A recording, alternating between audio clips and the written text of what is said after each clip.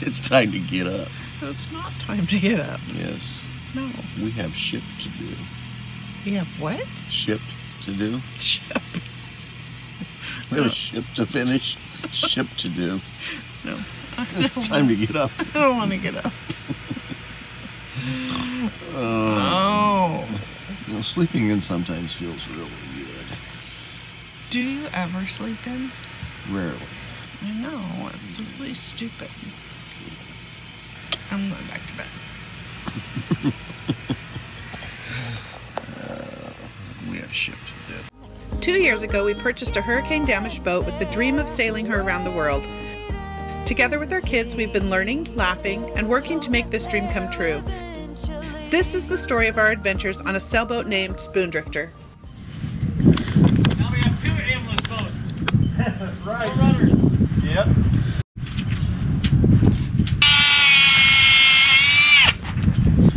That seemed pretty dry to me down there.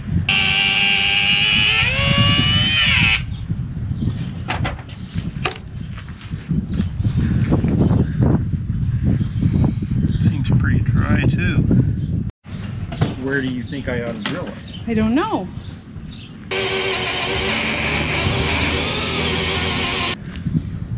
Would say that's dry. That is not wet. Well, that's good news. We really don't want to take this rudder apart. We're hoping that we can repair the cracks and reinstall it. That last stuff that you pulled out was pretty rusty. Hmm. I'm going to drill all the way to the hole. I can't tell if it's wet though. Can you stick your finger in the hole? No. Can you stick yours in? Maybe.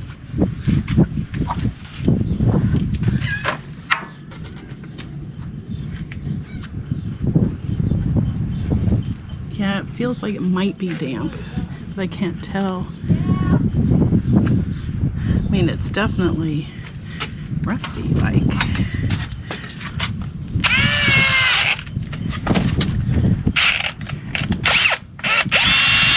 That's not. That's fine. Yeah, compared, this one compared to this one, this one feels a little damp.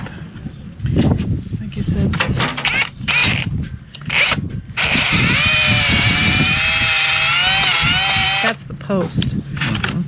Because it's thinner right there. That's dry. So the question is, how are we gonna grind that out and rebuild it without making it bigger? It can't be bigger. Yep. It cannot be bigger, that's for sure. We need to think about this for a while. We'll come back to it eventually, but for now, let's move on to another project. Come on, May. Get your fingers in the way. I'm taking this, which is a, a vinyl downspout for a rain gutter, and turning it into this to make it a little better form for my base plate for my copper bus bars.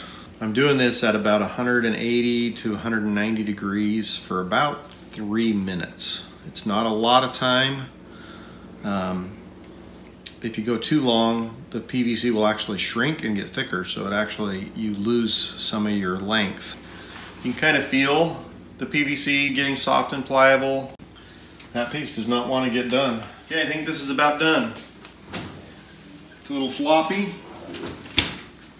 I'm going to put it in here as fast as I can and pop it right down in there and throw my clamps on there like that.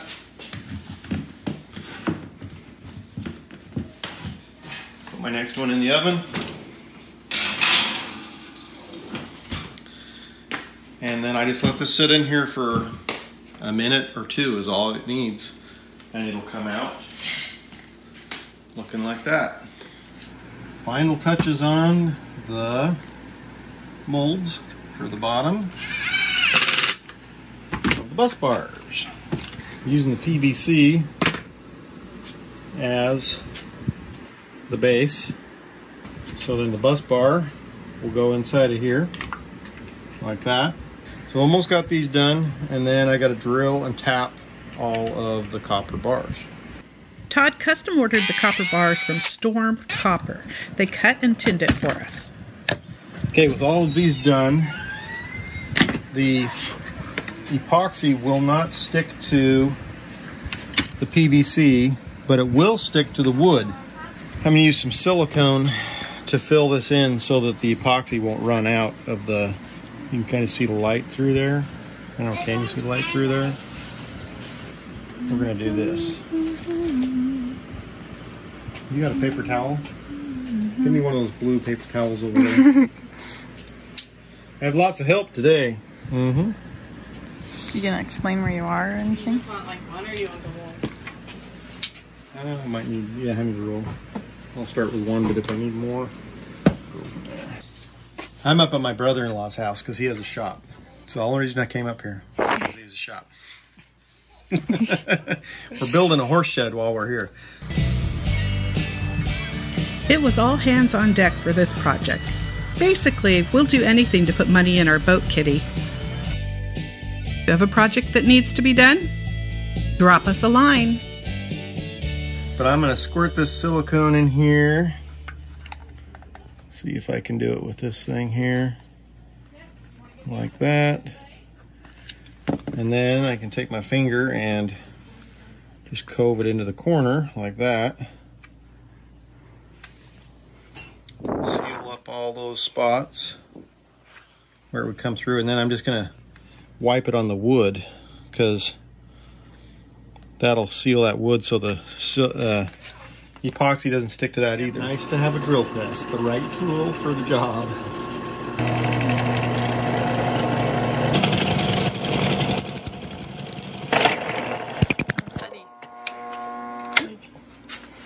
Hmm? It looks like confetti. Ooh, copper bar is getting really warm. Holy crap, that is a giant, huge bug. Heck no. Did you see that? Did you see that? Probably one of those like murder hornets. What's that? That's scary. Where did it go? That, touch that. Touch it? Yeah. Silver thing. Is it hot? yeah. What? It got hot from doing that. These bus bars are for our electric motor wiring, and they will need to handle 600 amps. We'll put more details on the steps to making them in the description below. Tapping a hole. So I'm getting started. Tapping. You want to be able to go back and forth a lot because you got to eject all the chips out. And it helps to have some oil, cutting and tapping fluid, something like that as well. So you just go back and forth. If it gets stuck, just go back and forth a little bit and it'll unstick. Ooh, that was a lot of pink. fluid. Don't go more than maybe a half to a full turn without going back and ejecting your chips. Got about, oh, I don't know, a quarter inch to go before I'm all the way through. Still pretty hard. It's going to be hard on my hands. I need to have a timer to see how long it takes me to do one hole when I got 16 of them to do. 16 holes. It got stuck. There we go, I got it. There we go. Throw those in the garbage. Take this guy Can I do that? and make him tight.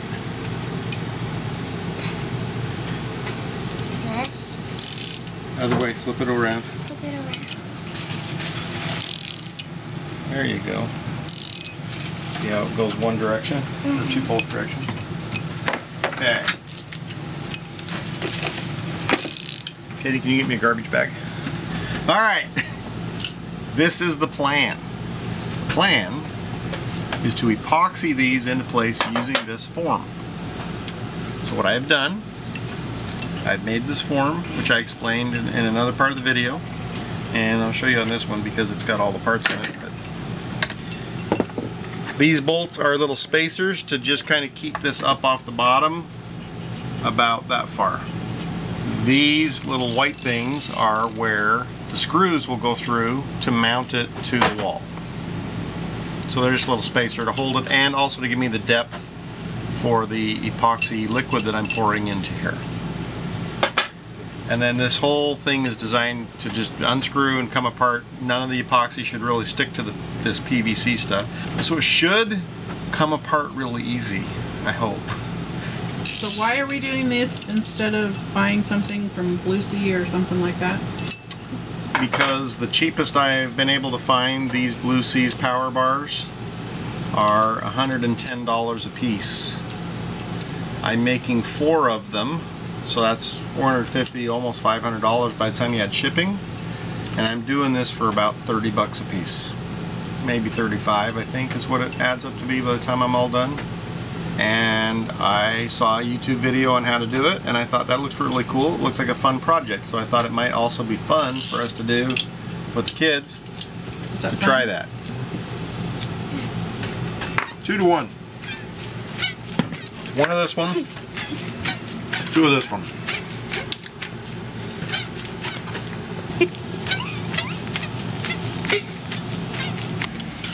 Why do you cut the ends off your popsicle stick? so they're flat on the bottom so they can scrape stuff off the bottom Half a cup of water. That's not water.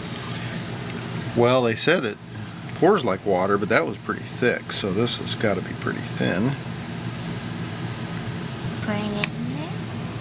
Oh, and it makes it. trying not to stir it too fast I don't want to stir a bunch of air bubbles in it but hold on to the cup with one hand there you go You're like dipping your finger. It's not my fault. My gloves are so big. periodically scrape the bottom scrape the sides stir it up for a good while I'm gonna take a nap Okay, bye. So about like that. So now I'm going to see if I can pour it in here.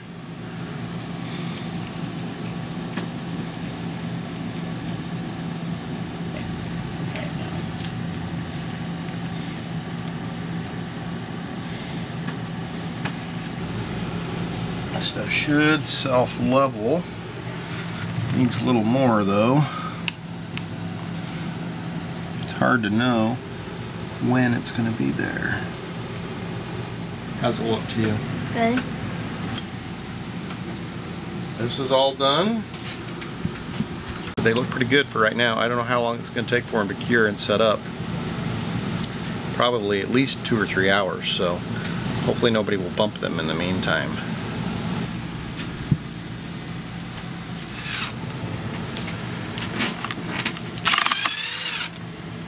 Now the test. Will they come out as easy as I hoped?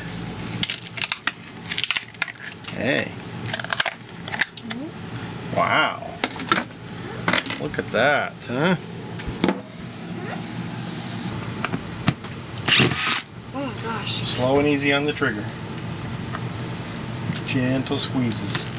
There you go. Okay.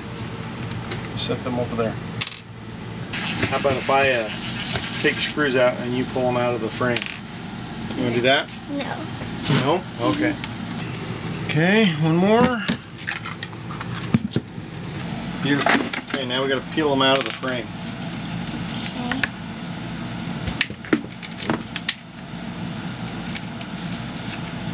What am I supposed to do that? Just like that. Just peel it all the way out.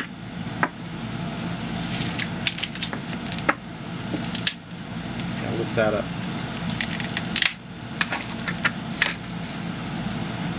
Wow, huh? Pretty cool.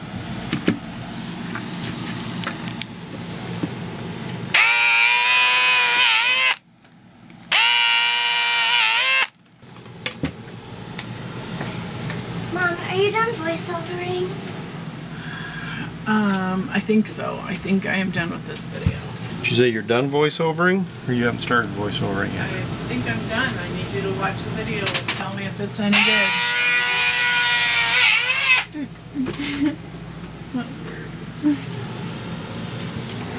Let us go.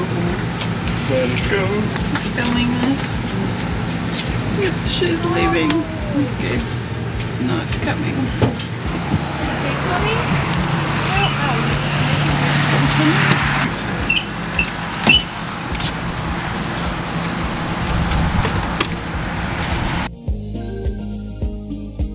We're headed to San Antonio to take Katie to the airport.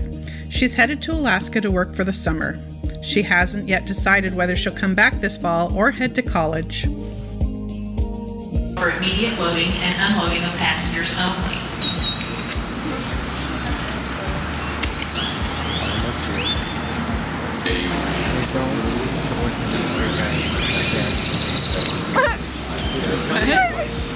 He said, don't go with any weird guys if they ask you to.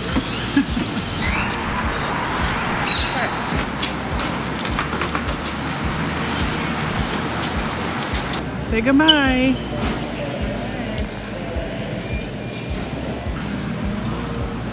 You're gonna get right in my bed and steal my bed.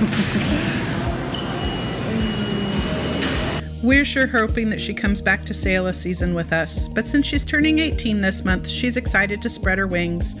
Why must they be in such a hurry to grow up? Thanks for watching. Now leave us a comment using the links below or join our crew and come chat in our private Facebook group.